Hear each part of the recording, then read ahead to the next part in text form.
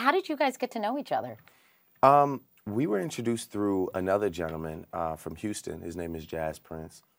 He um, he found me on MySpace and loved my music on MySpace. He was like, "Man, I know Lil Wayne, and I'm gonna play him your music one day." And I was just like, "Yeah, right." He called me one day, and I was in the barbershop getting my hair cut, and he was like, uh, "He was like, I'm starting this thing called Young Money, and I'd really love for you to be a part of it. So I want to fly you out to Houston and meet you."